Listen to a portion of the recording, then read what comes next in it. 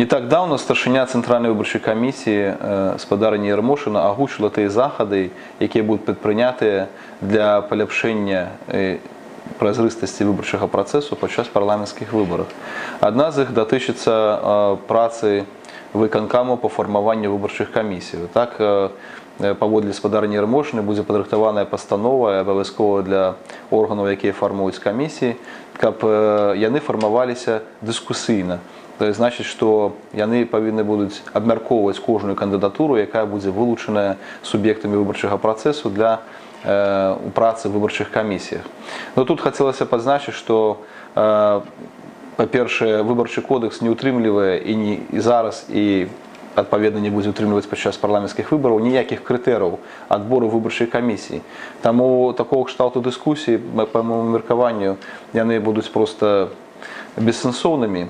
Ну і плюс гэта ніякім чынам не гарантуе магчымасці вылучэння ў камісіі выбарчыя прадстаўнікоў апазіцыйных партыяў. Гэтай гарантыі як не было, такі няма і, не будзе і зараз.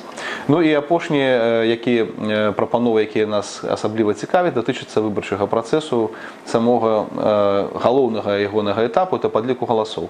Так паводле Лідзі Михайловны зараз падлік галасоў будзе ажыццяўляцца на адным баку стала, і такім чынам маўляў іншыя назіральнікі і тыя хто прысутнічае падчас падліку галасоў будуць яго магчымасць бачыць но тут хацелася пазначыць што празрыстасць выбарчага працэсу азначае празрыстасць працэдур это значит тое што і дзіпча бсе і кампанія праабаронцы за свабодныя выбары прапаноўвалі такі варыянт каб выбарчыя бюлетэні лічыліся толькі адным сябрам камісіі і кожны з бюлетнёў дэманстраваўся ўсім прысутным і агучваўся вынік галасавання адлюстраваны в этом бюлетэні але на жаль як мы бачым гэтых прапановаў гэтай прапановы не будуць улічаныя.